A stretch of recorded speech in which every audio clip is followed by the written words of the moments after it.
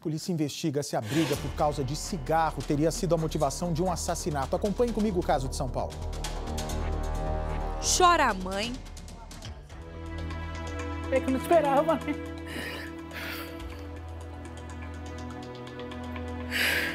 Não esperava isso. Chora a companheira. Aí na hora que tirou a lona de cima, aquele plástico de cima, eu não aguentei.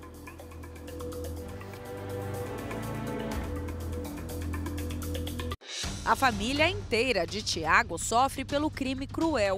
Agredida na região da cabeça, a vítima morreu de traumatismo craniano aos 33 anos.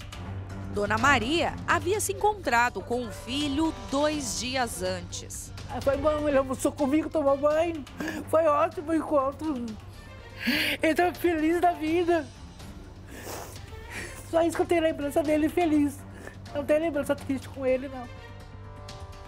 Foi uma tarde tranquila até que Tiago e a companheira Ricelli estavam voltando para casa. No caminho, ele encontrou um conhecido e parou para pedir um cigarro. Esse motoboy foi, cumprimentou ele, deu a mão para ele, bateu nas costas dele, ele bateu nas costas do motoboy e falou assim: Olha, irmão, me arruma um cigarro para mim. E eu bem distante, eu não gostava de ficar muito perto, né? eu fiquei bem distante, assim, só olhando. Aí eu escutei esse alemão, tipo umas brincadeirinhas bobas assim, mas tipo. Tipo brincando, mas na, tá levando a sério, sabe? De repente, a discussão. Aí meu marido falou assim: Olha, irmão, não tô entendendo você, mano. O que eu fiz pra você que você sai de ignorância comigo? Não tô entendendo você. Aí eu vi que a clima já não tava ficando bom, eu falei assim: amor, vamos subir, deixa pra lá, deixa pra lá. Acho que tem 50 centavos, aí depois você vai comprar um cigarro, vamos subir, Tiago. Aí o Thiago subiu comigo. Nisso o Thiago subiu comigo, ele passou de moto, tá subindo assim para ir embora pro barraco. Ele já passou de moto e fez assim pro Thiago com a mão. Falou: é, você vai ver, viu? Eu volto, viu?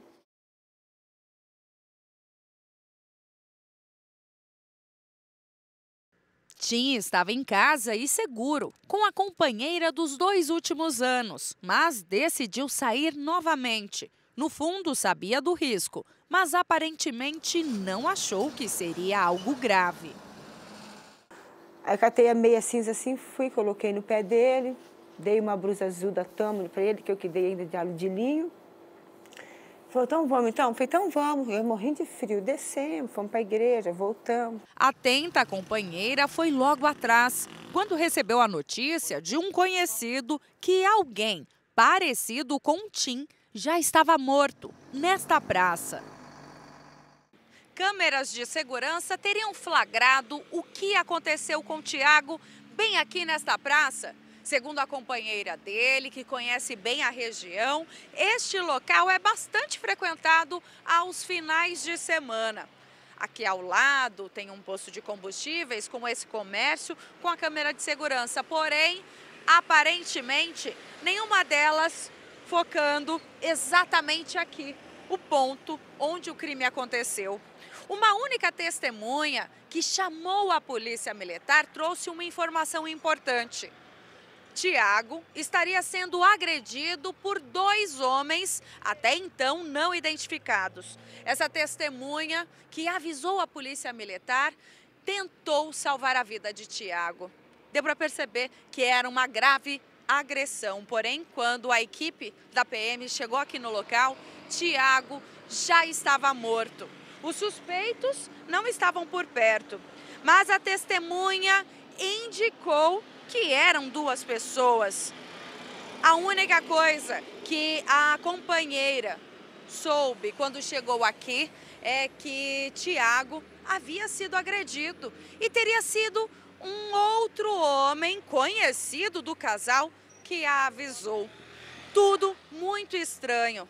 Essa testemunha também, que passou por aqui, na avenida movimentada de carro, não foi identificada.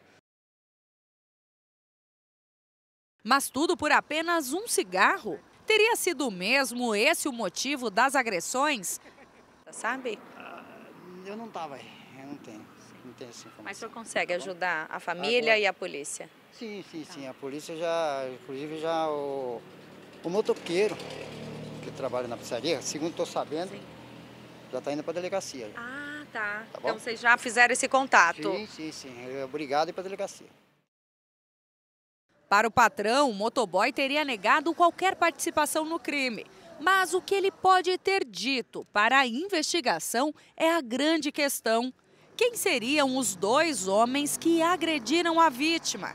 A mãe promete não descansar até entender por que tiraram a vida do filho dela dessa forma. Eu não quero que ele vire mais um. Essa pessoa que fez maldade com ele faz com o outro. É difícil. A família passa por um momento muito difícil hoje. Não esperava essa morte plena, não.